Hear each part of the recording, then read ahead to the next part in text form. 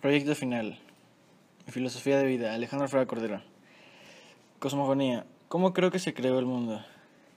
Personalmente creo que el mundo fue creado mediante el Big Bang, pero que eh, Dios fue la causa de ese Big Bang porque no creo que el Big Bang se originó así de la nada. El mundo era la nada, y, pero Dios de pronto creó el Big Bang y así fue lo que causó que se creara el universo y todo lo que conocemos hoy en día. Religión, espiritualidad. Personalmente soy teísta porque creo que Dios eh, está en constante interacción con el mundo y eh, pues pienso que Él creó el mundo y que siempre está interactuando con nosotros. También eh, soy, soy panenteísta porque creo que Dios se expresa en el mundo y en todo lo que hay en el mundo. Que Dios expresa de diferentes maneras en nuestro mundo, aunque es independiente de Él. También creo que Dios es trascendente porque creo que Él existe más allá de los límites naturales del espacio y tiempo. Personalmente soy racionalista porque creo que hay ciertas experiencias que no es necesario que te hayan pasado a ti mismo para entenderlos y saber cómo de qué tratan, eh, sino que como que te las expliquen o, o, algo así. No es necesario que tú las hayas vivido tú mismo para, para saber qué es verdad o para saber de qué tratan.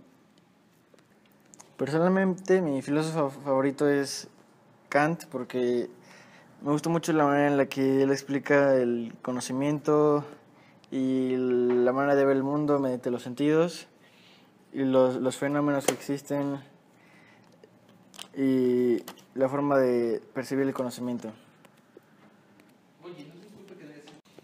Mis frases de filósofos favoritos son leer buenos libros es como conversar con las mejores mentes del pasado de Descartes y el sabio puede cambiar de opinión, el necio nunca, de Immanuel Kant.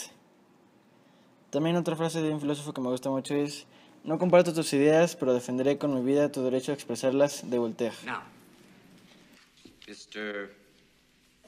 Pitts. It's a rather unfortunate name. Mr. Pitts, where are you? Mr. Pitts, will you open your hymnal to page 542? Read the first stanza of the poem you find there. To the virgins to make much of time? Yes, that's the one. Somewhat appropriate, isn't it? Gather ye rosebuds while ye may. Old time is still a flying. And this same flower that smiles today, tomorrow will be dying. Thank you, Mr. Pitts. Gather ye rosebuds while ye may. The Latin term for that sentiment is carpe diem. Now, who knows what that means? Carpe diem. That to seize the day. Very good, Mr. Meeks. Meeks. Another unusual name. Seize the day. Gather ye rosebuds while ye may. Why does the writer use these lines? Because he's in a hurry. No. Ding! Thank you for playing anyway. Because we are food for worms, lads. Because believe it or not, each and every one of us in this room is one day going to stop breathing turn cold, and die. I'd like you to step forward over here and peruse some of the faces from the past. You've walked past them many times. I don't think you've really looked at them.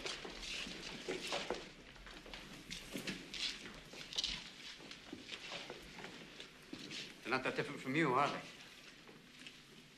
Same haircuts, full of hormones, just like you. Invincible, just like you feel. The world is their oyster. They believe they're destined for great things, just like many of you. Their eyes are full of hope, just like you. Did they wait until it was too late to make from their lives even one iota of what they were capable? Because you see, gentlemen, these boys are now fertilizing daffodils.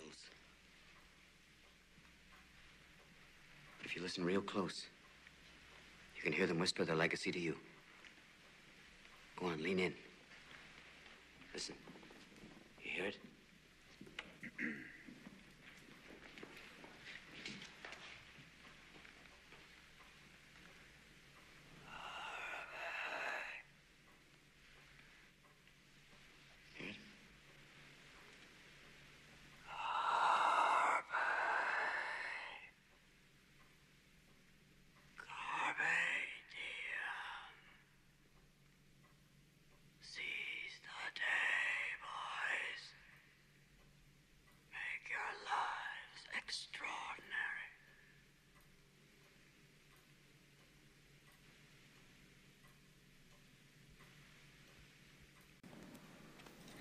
Y así con este fragmento de la película Dead Poet Society, eh, demuestro que mi sentido de vida es vivir cada día al máximo, porque nunca sabemos qué día vamos a, a morir, hay que vivir cada día como si fuera el último. Gracias.